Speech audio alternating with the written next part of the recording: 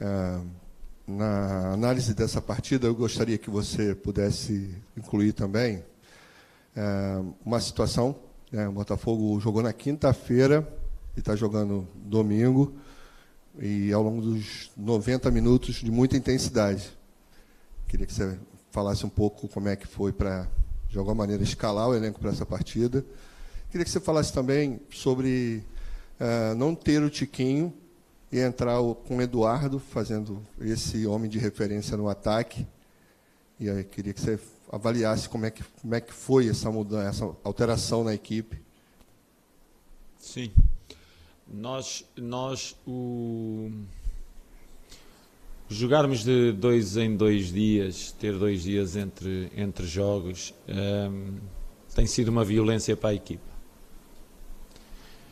E nós destes 21 jogos, penso que temos, ou 22, temos uh, eh, 17 desses jogos, são dois em dois dias. Um, é muito difícil quando se. E aí eu tenho que enaltecer muito. Fizeram a obrigação, os meus jogadores fizeram a sua obrigação profissional, dedicaram-se ao jogo. Não posso estar aqui, ah, sim, indicámos, corremos até ao fim. Isso é normal, temos que correr até ao fim. Uh, uh, da melhor forma possível e eles entregaram-se por completo ao jogo. Agora, eu admiro-os muito e tenho um respeito muito grande pelos jogadores, pelos meus jogadores, porque depois de um jogo que nós fizemos no Peru, uh, chegarmos ao hotel, jantarmos, irmos à meia-noite deitar-nos e às três e meia da manhã termos que nos levantar ao fim de três horas de sono para viajar, para fazer uma viagem de 12 ou 13 horas, ou 14 até aqui, com uma escala de 4 horas e meia em Lima e chegar aqui à noite do dia seguinte. Um, e, e colocá-los hoje em jogo é realmente para mim uma, uma violência aquilo que se está a fazer. Mas como o mundo está tão violento, está tão pesado para tanta gente, nós só temos que nos rir, seguir em frente e, e trabalhar cada vez mais e dedicarmos cada vez mais. Parabéns aos jogadores, parabéns à torcida pela forma como está uh, tão ligada a nós, parabéns a todos que nos envolvem e uma palavra, já que estou a dar parabéns, quero aqui dar uma palavra especial à logística do Botafogo. E eu sei que vocês não estão para me ouvir sobre isto, mas eu quero dizer isto. A logística do Botafogo carrega com caixas e caixas de material, que tem de preparar jogos em dois dias, que tem de ir para os aeroportos antes de nós, tem que sair dos aeroportos depois de nós, que tem muitas vezes que não dorme ao longo do, de um dia para o outro de viagens, que não dorme. Muitos parabéns para, para, todos os homens que trabalham na logística do Botafogo e a forma como eles se dedicam, que muitas vezes não aparecem, muitas vezes não, nunca aparecem nas câmaras, e a minha vontade é trazê-los, sentá-los aqui ao pé de mim e, e serem eles a, a, fazer a conferência de imprensa, a coletiva convosco. Mas uh, uh, dedicar, olha, dedicar esta vitória hoje à torcida e a toda a logística que nos, aos homens da logística. Uh, o Eduardo, o Eduardo, o Eduardo trabalhou comigo, foi meu jogador no Futebol Clube do Porto, conheço há muitos anos e, e sei as características dele. É um jogador que Primeiro é um jogador que uh, estrategicamente entende muito aquilo que se pede e ajusta-se muito fácil àquilo que se lhe pede. Depois é um jogador que domina bem, passa bem. É um jogador que vai bem no jogo aéreo. É um jogador que por baixo também finaliza bem. É um jogador que faz trabalha bem o último passo. É um jogador que quando baixa joga bem entre linhas. Tanto joga à largura como à profundidade. Portanto, são características que se adaptam muito bem ao número 9. Agora, é igual ao Tiquinho? Não, não é igual ao Tiquinho. Já sabemos que não é igual ao Tiquinho. O Tiquinho é mais poderoso, a guardar a bola, a tocar, mas e, e, também mais ajustado. Ele também, o Eduardo também anda nas pressões com o Tiquinho mais à frente, junta sempre ao Tiquinho nas pressões, portanto era o jogador ideal para lançar no jogo na posição 9, até porque o outro a solução para a posição 9 é o Janderson, é um menino que não está totalmente pronto, vamos lançando aos poucos até chegar o dia dele estar pronto.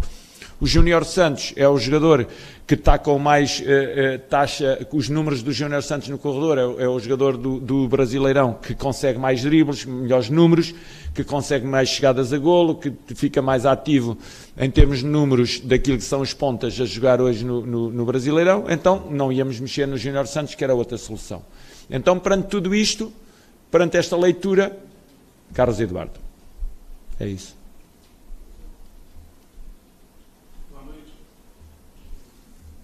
Boa noite, Luiz Castro. Parabéns né, mais uma vez aí pela vitória, pela liderança. Bruno Castanha.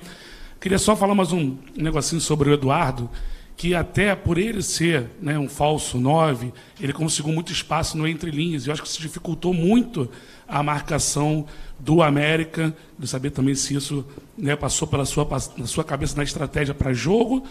E também, se você pudesse falar sobre o seu sistema defensivo né, que dentro de casa, principalmente, não vem tomando gol e vem deixando muitas poucas oportunidades, muitas não poucas oportunidades para o adversário finalizar. E um time que quer ser campeão começa também por uma defesa consistente. Queria que você comentasse. Obrigado. Ok. Um, o Eduardo, os movimentos do Eduardo. Um, tendo o Luís Henrique sobre a esquerda e o Júnior Santos sobre a direita, embora eles estejam a dar largura máxima à equipa em determinado momento do jogo, quando ela vai fora e vem para dentro, já, já começa a definir-se a jogada. E o movimento do Eduardo abre ali um conjunto de espaços que pode ser aproveitado pelos, pelos alas, neste, os alas não, os pontas, eh, para aproveitarem esses espaços. Portanto, os movimentos do Eduardo, para além de pivotear o jogo à frente, também consegue abrir espaços para os, para os nossos pontas em movimentos interiores. Portanto, sim, de acordo consigo, ele entre linhas do Eduardo provoca ali uma, uma geração, uma gerarem-se espaços para serem aproveitados por outros jogadores, à semelhança daquilo que faz o Tiquinho. O Tiquinho também é um jogador que aproxima muito, que também pivoteia muito o jogo, portanto, os, os, os nossos pontas já sabem que aqueles espaços, quando não andam à largura, são ser, para ser aproveitados por eles para zonas de finalização, para, para, como aconteceu no golo do Luís Henrique. Depois falou-me sobre o sistema defensivo. O momento defensivo, a, a, a arte de defender é tão ou mais arte do que a arte de atacar. Porque a arte de defender é, são 11 jogadores uh, que têm de estar coordenados a defender a sua baliza. A arte de atacar, muitas vezes entramos, entregamos um ataque a três jogadores ou dois jogadores e eles chegam à baliza e conseguem fazer o golo. Agora, defender com dois ou três já não conseguimos fazer isso. Portanto, todo, temos de ser um bloco, o momento defensivo tem de começar à frente e tem de ser o mais curto possível e o mais estreito possível. E a equipa tem entendido bem isso, tem percorrido uh, bem caminhos para fechar espaços. Portanto, estamos estáveis. Toda a gente entende que o momento defensivo é para todos defenderem e todos defendem e deve ser assim.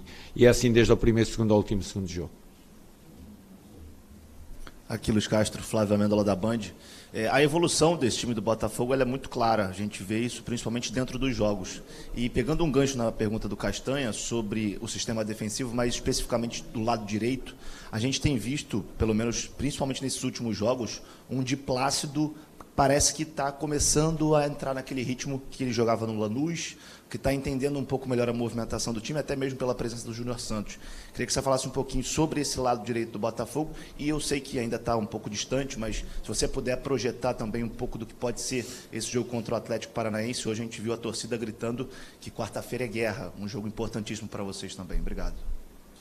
Eu acho que é uma violência para mim falar do jogo de quarta-feira já. Cheguei do, do Peru, montámos este, agora já tive este, já acabou.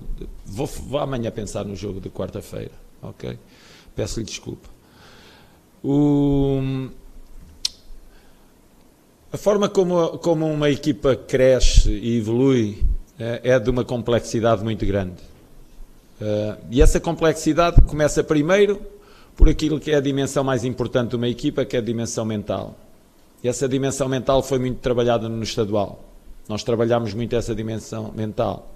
Porquê? Porque fomos sujeitos a, a muitas agressões, a muita, a muita violência verbal e a equipa nesse momento uh, soube aguentar e soube crescer ao mesmo tempo que aguentava. Quando nós aguentamos muita pancada na vida, nós vamos crescendo e vamos ficando cada vez mais preparados. E o tempo ia passando e cada vez mais pancada levávamos vinda de todo lado e então ainda mais crescíamos. Então hoje é uma equipa que está, como eu disse aqui uma vez, vocês olham para mim mas não sabem a minha, a minha história. Portanto, pode montes, muita gente estar a, a massacrar, mas eu já vivi atrás muita coisa que me faz ser imune no dia de hoje a tudo isso, a violência que, que, me, que mandam para cima de mim. E com, a, e com os jogadores é exatamente a mesma coisa. Nós cada vez estão mais preparados, cada vez estão melhores e cada vez a, a, a, a equipa cresce mais à medida que vai o tempo passando, porque vamos vivenciando um conjunto de experiências que nos faz estar cada vez mais preparado. Agora, isto é, sinal, isto é sinónimo de vitórias. Não estou a dizer que isto é sinónimo de vitórias. Eu estou a dizer é que estamos preparados.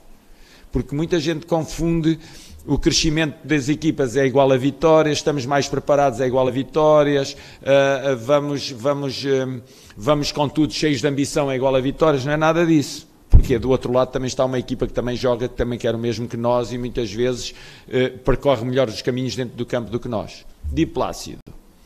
O Diplácido é um jogador que chegou, e não vivenciou um conjunto de situações que os colegas tinham vivenciado, portanto, naturalmente tem que crescer mais tarde. E esse crescimento é feito de um conjunto de propostas que nós lhe fazemos e desafios que nós lhe fazemos, que ele vem cumprindo e cada vez vai estando mais à vontade para os desempenhos, para os desempenhar esses desafios. Portanto, e ultrapassar.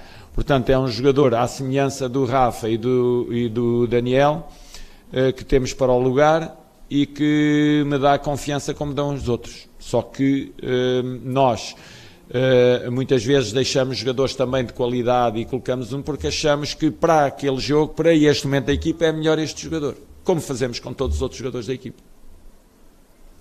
Boa noite, Luiz. Parabéns pela vitória, pela liderança. Obrigado. Existe um debate, uma discussão, no bom sentido, sobre o estilo de jogo no Botafogo. Se é propositivo, se é reativo. Eu acredito que o futebol é algo muito mais complexo do que definir um time em, em duas partes, mas eu acho que não existe ninguém no mundo melhor que o senhor para responder essa pergunta. Qual é o estilo de jogo do, do Botafogo? Quando se lança um jogo, nós queremos, nós, nós, nós na sociedade habituamos a rotular. Aquilo é bonito, aquilo é feio, aquilo é bom, aquilo é mau, aquilo é isto, aquilo é aquilo. Quando não acontece isso, quando fica um pouco difuso, já é uma confusão ele não, não consegue definir bem o seu estilo. Não, nós temos. Nós temos uma forma de estar em campo, que é aquilo que, que, que dominam de estilo de jogo. Nós, quando temos espaços para ir para a baliza e percebemos que temos espaços para chegar a golo e para ir para a finalização, vamos. Quando estão mais fechados os adversários, circulamos, procuramos espaços, ela vai fora para vir para dentro, temos corredor central pronto para entrar, não temos, roda ao outro lado. Entra, chegamos lá, não entrou, roda, continua. E temos a bola até descobrirmos os espaços e até eh, provocarmos os espaços que queremos para entrarmos. Quando perdemos bola, quer numa situação, com, ou, ou, quer outra, a primeira, a primeira, um, primeiro comportamento, reagir forte à perda de bola não, perdemos, não conseguimos recuperá-la. Montamos o nosso bloco e se andarmos baixo, não temos pânico nenhum andar baixo com o nosso bloco. Estamos tranquilos. Portanto, definir uh, um estilo de jogo, um jogo de posse ou um jogo de ataque rápido, são dois mundos que existem dentro do próprio jogo e que nós, felizmente, conseguimos entrelaçar muito bem esses dois mundos e coabitar muito bem desses dois mundos. Uns jogos Há equipas que dão mais espaço e nós lançamos ataque rápido, há outras que dão menos espaço e nós temos que fazer mais circulação de bola. Hoje tivemos 60-40, tivemos 16 finalizações.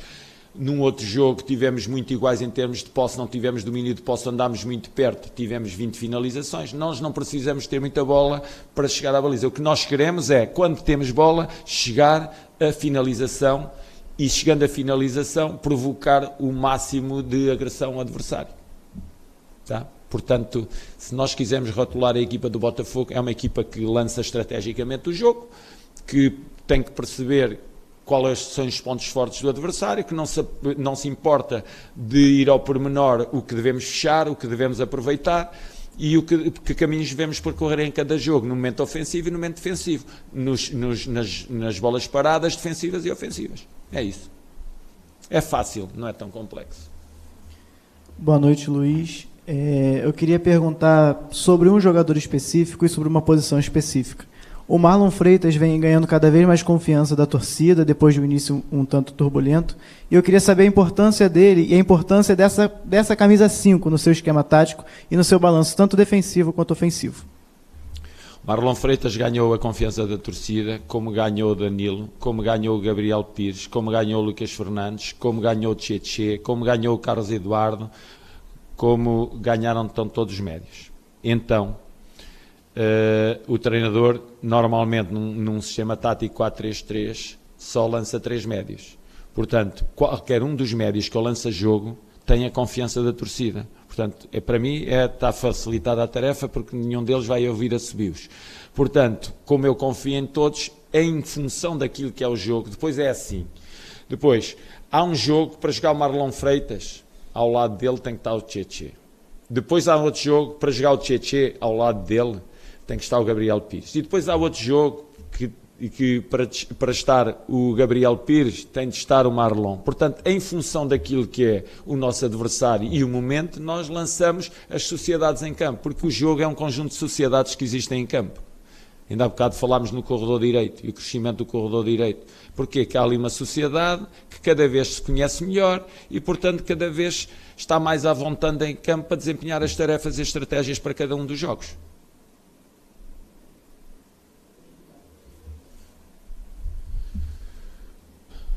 Oi Luiz, tudo bem? Parabéns pela vitória, David Sharp do Antenados na jogada.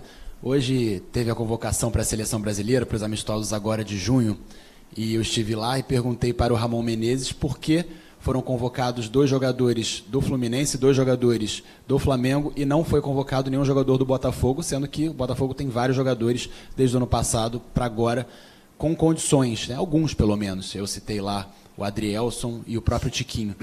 E eu queria saber a sua opinião do porquê.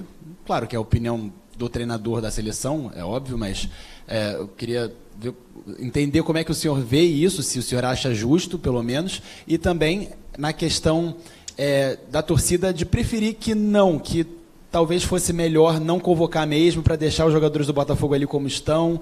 Outros já acham melhor convocar para valorizar, para agrega valor. O que, que o senhor acha sobre isso? Obrigado. Eu acho que vai ser um atrevimento da minha parte falar sobre uma coisa que eu não domino totalmente, que é os critérios de escolha.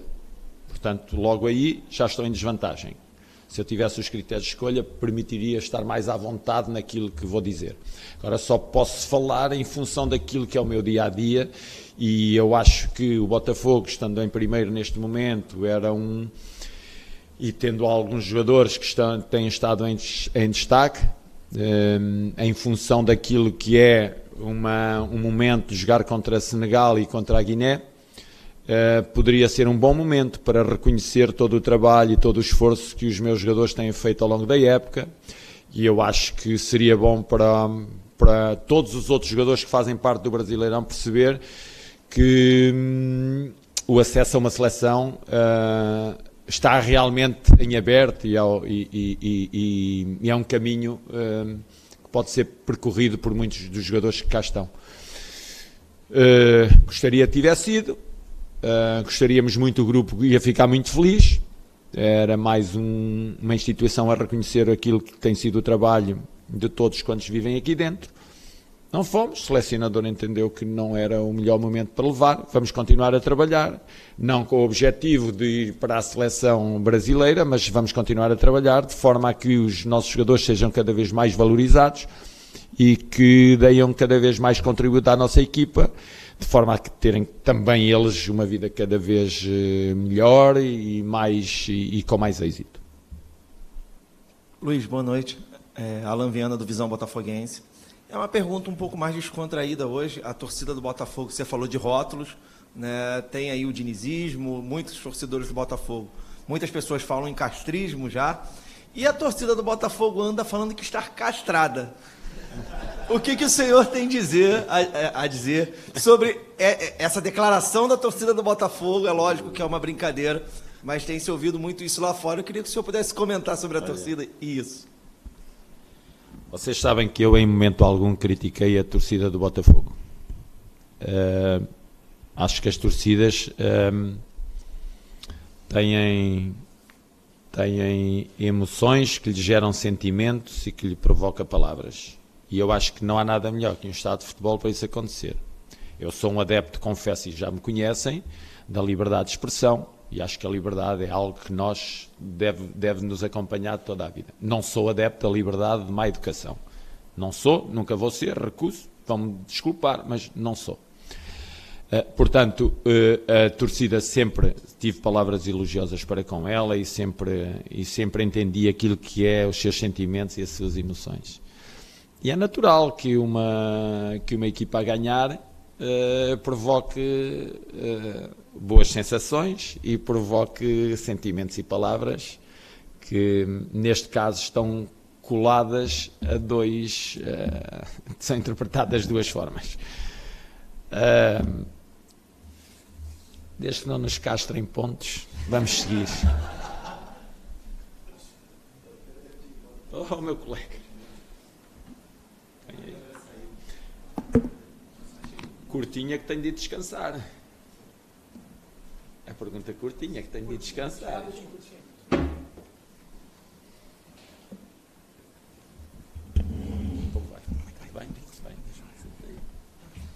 Ainda Luiz. tenho que para a minha equipa técnica. Ah, sim, claro.